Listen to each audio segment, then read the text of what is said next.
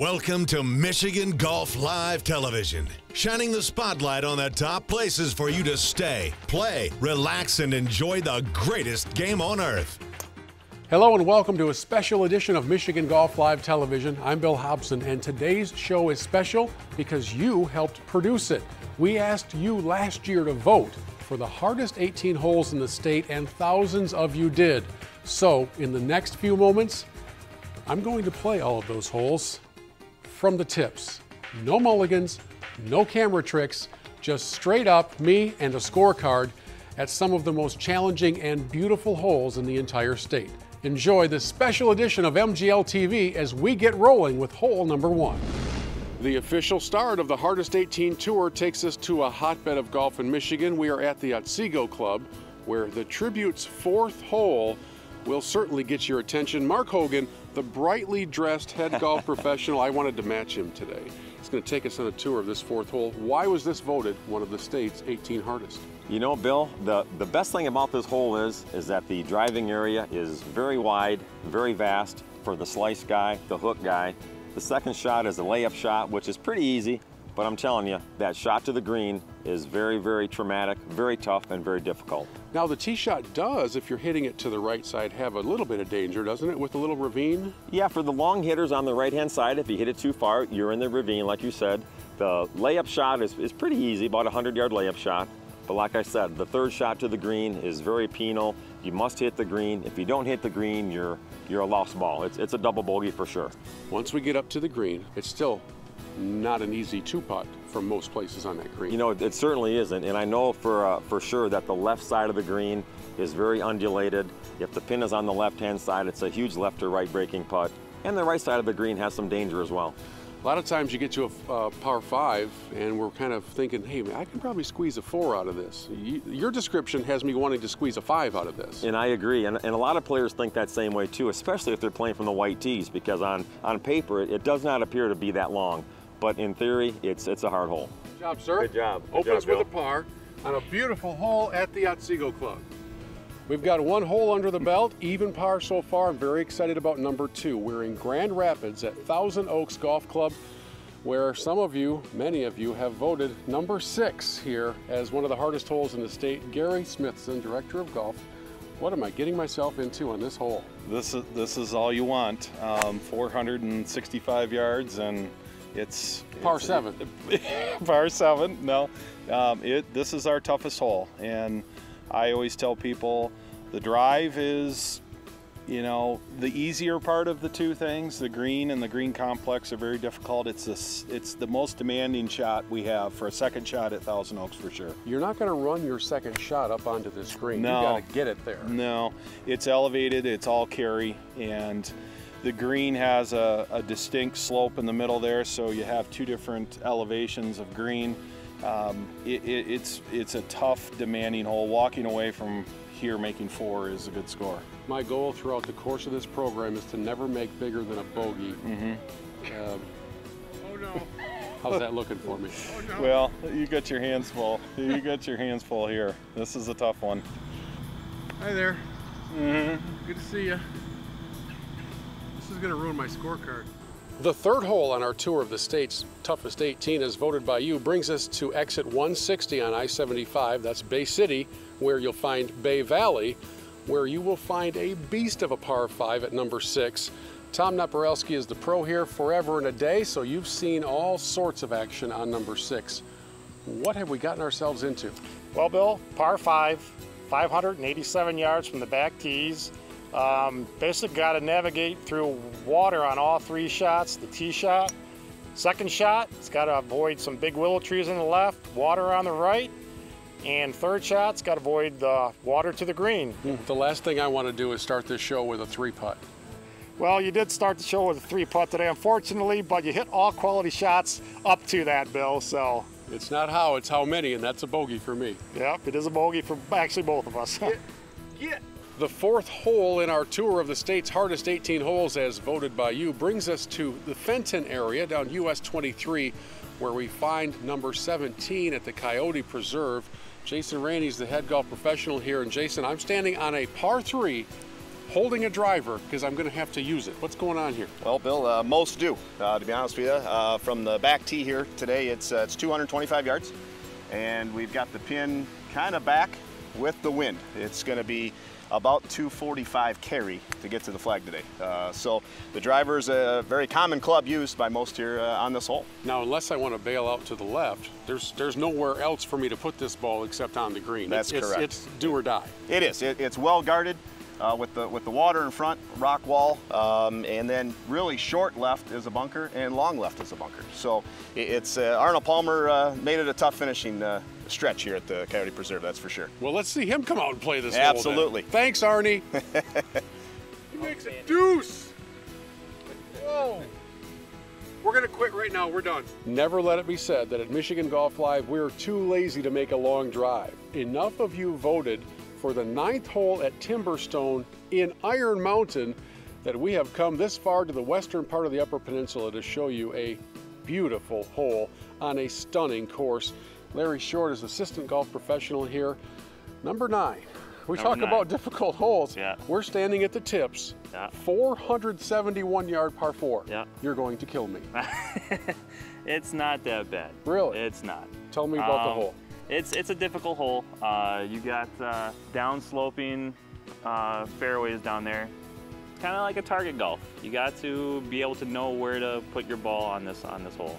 But from 471, I'm going to be approaching that target with a cannon instead of a pea shooter. This is a big hit. It, it is, it, it is. But you know, the, the nice thing is, is if you keep it on the right side, uh, you kind of have an opening right at the green. You might want to carry the green uh, today because you don't want to roll it up there today because it's really soft up there, so you won't get much of a bounce. So your tip to me is hit your second shot really close to the Really hole. close to the hole. That's fantastic. I never would have thought of that on my own. Thank you, Larry. That's what a professional does as we tackle number nine here at Timberstone. Hey, how about another bogey on the card, everybody?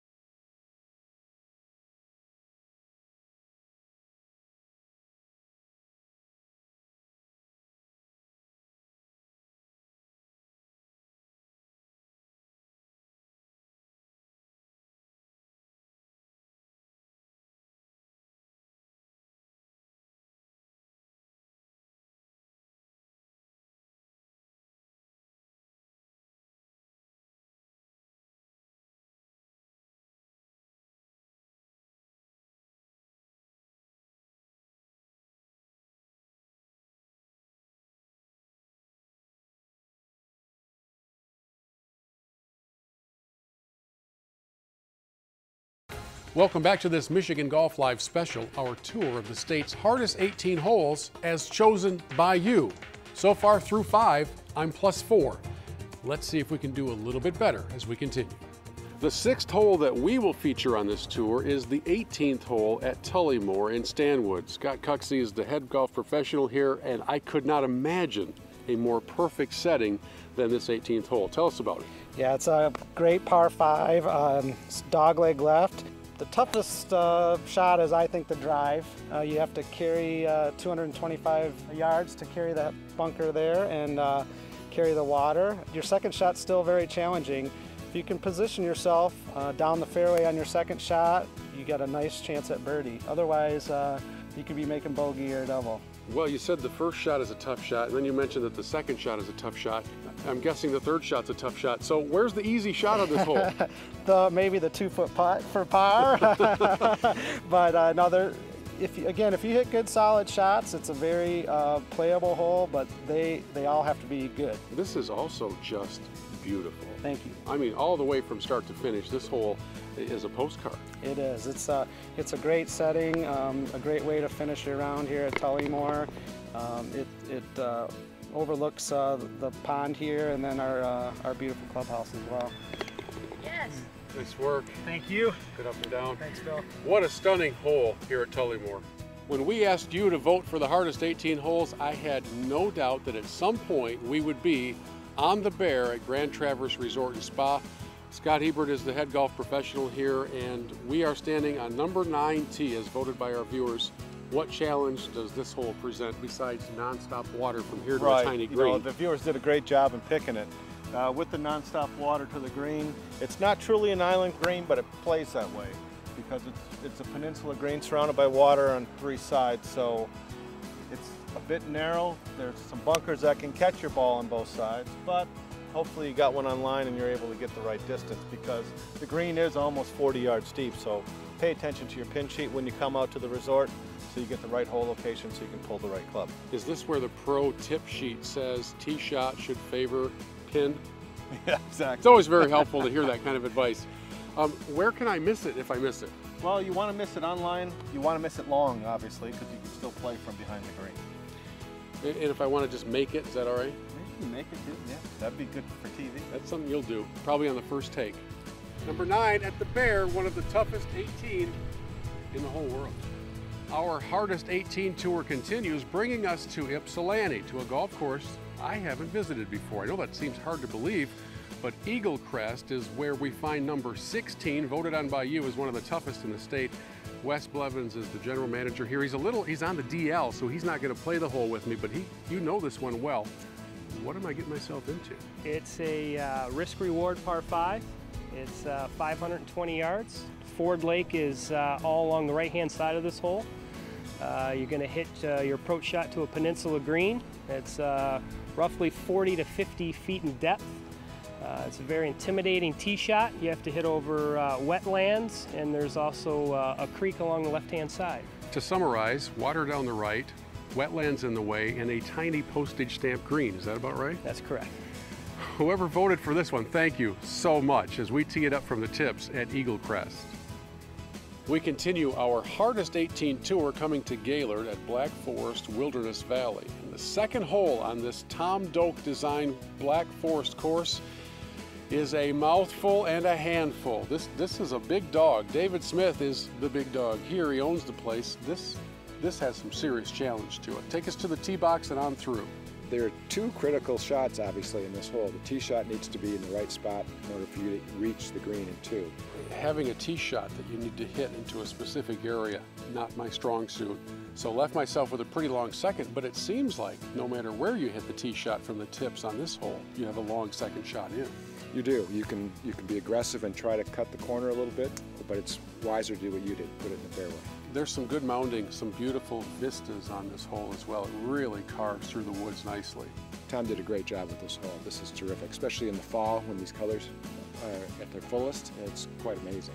Every once in a while you get to a par four and you think to yourself, I've got a good chance at three here.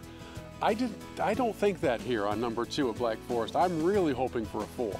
This is a survival hole, I think. You're right. You can get down in, in uh, par or maybe bogey, you're doing well. Survival hole, pretty good way to put it. We have a lot of those on the show today.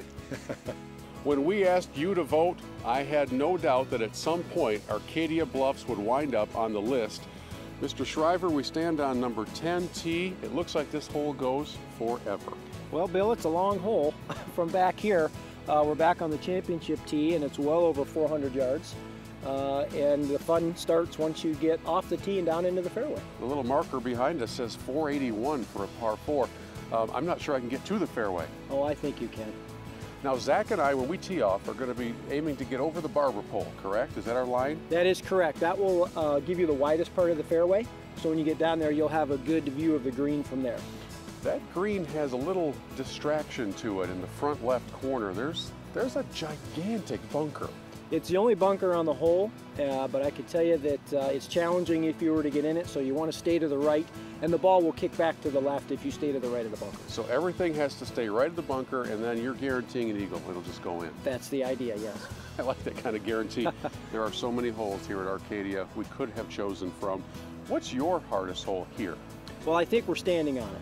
Uh, there's just no doubt that you know you make the turn and you feel like you're getting a fresh start and then you get on the 10th tee and you go okay this looks pretty difficult uh, and again I think it's that you can't necessarily see the landing area so visually it's intimidating but once you get past that and you're looking at the green the hole like most of the holes here is right in front of you and, and it's pretty uh, open as to what you need to do.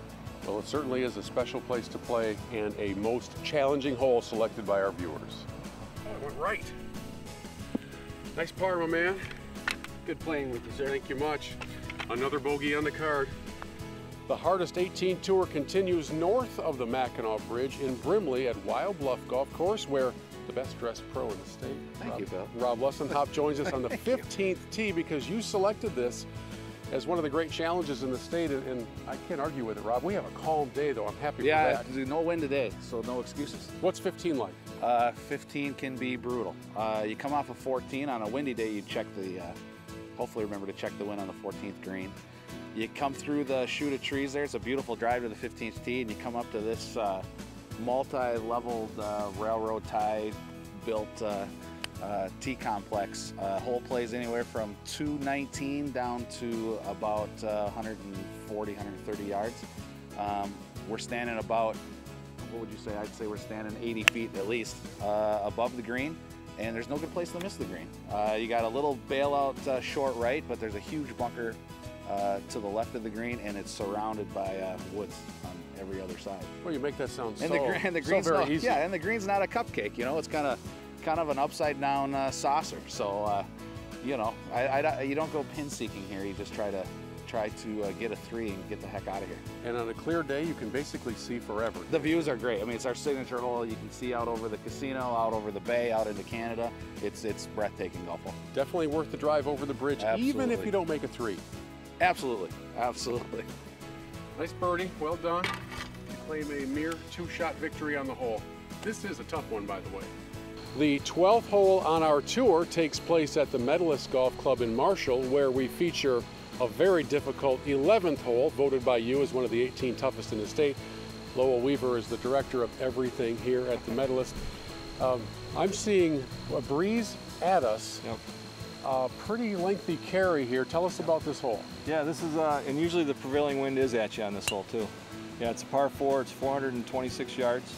Uh, you've got about uh, 210 yards to carry the, the hazard just to find land. If you miss it left or right, you're not going to clear it that way either. So, and that's not the easy part, or that's the easy part, is getting the drive onto the fairway. That's the easy part. That's the easy part, yes. Huh. How many golf balls do you limit us to before we get to move up? Well, actually, we do have a drop area on the other side of the swamp. So we do keep people moving along pretty well because there's a lot of balls. Like I said, you can't miss it left, right, or short. And so we have a drop area up there that is uh, typically played. Even when we do the GAM golf tournaments out here, they use a drop area. up there. and what would be your career scoring average on this hole? Uh, probably about four and a half. Four and a half? Yeah. I would take a four and a half today in a heartbeat. sure. Saves a five. Ugly five. Nice bird, my man. Thank you, sir. Awesome. When you voted for the toughest 18, you brought our crew to Thompsonville, Crystal Mountain to be exact, and Brad Dean's the director of golf at this beautiful property. We're on number one of the Betsie Valley course, and from the tee box, I'm not really sure where to hit it. Yeah, it's a little intimidating off the tee box, Bill, for sure. But from the back tees, it's 470 yards. And really, when you get out there, you see it's it's a very big landing area. It's not bad at all. And you can hit anything from a hybrid to a three wood to a driver. Uh, just depends on how far you hit it. Uh, like I hit a three wood off the tee box and Past my driver, yes. past your driver. Um, and I'm used to uh, that. and then you know laid up with a four iron, which gave me about 98 yards into the green. So um, the landing areas are bigger, but it's very very deceptive from there because there's a lot of um, trouble, and then when people see water, and it makes you a little tight for sure. We were back on the tips at about 470 or 480, and, and you drained a birdie on me, and I feel good about my par because this tour is rather exacting, but nice birdie. Thank you very much. The tap in par. Can't make my birdies.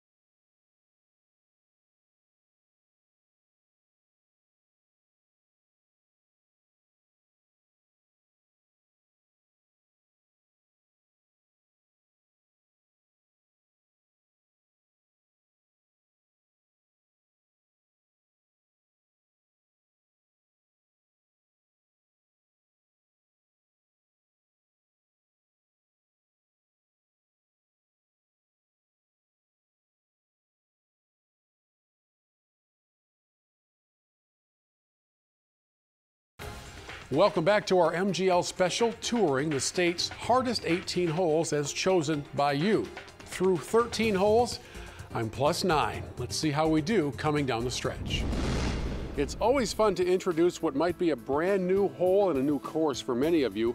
Up next in our hardest 18 tour, we're in Cedar Springs, Michigan at Cedar Chase Golf Club. A beautiful Jerry Matthews design on the 11th hole. Dave Schlump, this 11th hole goes forever. Talk to us about it. Boy, it has a little bit of everything. As uh, as we were walking up, uh, we showed you the back tees where we're going to be hitting from 612 yards from back there. Take forever. Um, trouble right, trouble left, a little bit of everything, heavily bunkered, uh, real tough hole.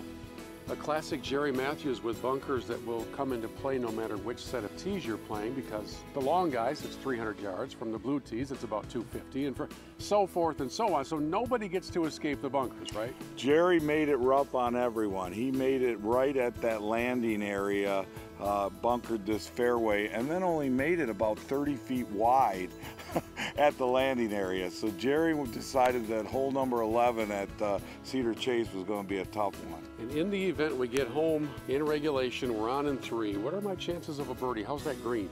Well, the green is very true.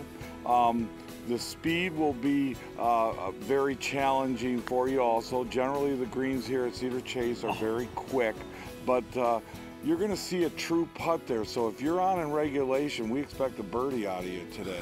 Prepare for disappointment, my man. this tour has taken its toll. Nice par. Thank you, sir. Thanks for entertaining us, and uh, what a great hole here at Cedar Chase. Fun stuff. Up next in the 18 Hardest Hole Tour, a hole that you voted as being difficult, and I fully agree with. Number three at the Three Tops course at Treetops is called Devil's Drop. Jim McKeegan, why is it called that? Well, it's just because it's exactly that, Devil's Drop. It's a 145 foot drop from the tee down to the green.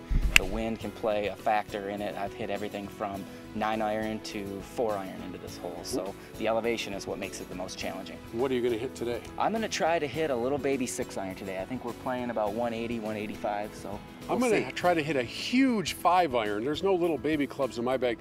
Now, how do you recommend people adjust for elevation change? Is there a formula? Yeah, there's some different formulas out here, but you know, I here at Treetops, I've just, it's been trial by error for me. Um, seeing a, a drop like this, it's a 145 foot drop, I'm gonna know that it plays 219, but I can take at least 40 yards off of that just right off the bat. In the unlikely event that I don't hit the green, what awaits me down there? A two-tiered green. There's a ridge that runs right into the, through the center. Uh, you definitely want to miss over to the right-hand side if you're gonna miss. here. So if I'm not going to make the shot, If, miss you're, on the if right. you're not gonna make the shot, miss it to the right. All right, I'll probably make it. Hey, hit the green, let's see it. Yes, sir. That's a one, that's a wonderful two putt. Our next featured hole is not all that far from Muskegon. We're at the Double JJ Resort and the Thoroughbred Golf Club because number two was voted by you as one of the hardest 18 in the state. Justin Durga, here we stand on an imposing number two tee box. Describe this hole for us. you got to hit a big tee shot here. I mean, it's if you're really going to have a decent shot at the green, you're looking at hitting a tee shot 270 yards to no more than a 20 by 20 plateau of fairway. You and I missed that plateau by a little bit, so we've got about 210, 215 left for our second shot. Talk to us about that because I think it's a blind shot. We're sitting in a tough spot. It's we're going to have long irons, if not hybrids, in our hands. You're going over swamp, over a tree, and over a big hill, and no, we will not be able to see the pin from where we are at. So if we happen to hit it close, it's pure dumb luck.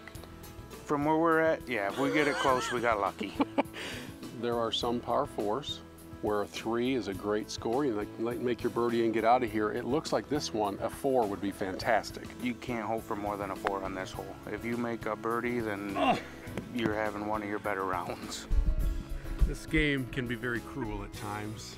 We come to our 17th hole in our hardest hole tour, and fittingly enough, this hole is patterned after another famous 17th hole. We are at Eagle Eye Golf Club at East Lansing, where they've done a pretty good job of replicating one that you've seen on television. Terry Kilday from Eagle Eye. This 17th looks awfully familiar. It's very, very close. we, um, we had an association through our course designer and Pete Dye, and, and they were able to do some laser shooting down at Sawgrass. And, and as you say, it's, it's very, very close. As we play it from the tips, it's not really the distance that's the big issue. It's the targeting. It's the target and the breeze um, that makes all the difference in club selection and then just staying confident enough to go ahead and swing the golf club. If you escape number 17 at Eagle Eye with a three, you feel pretty good about yourself as you, uh, you've come through a gauntlet of challenging holes at a very beautiful place.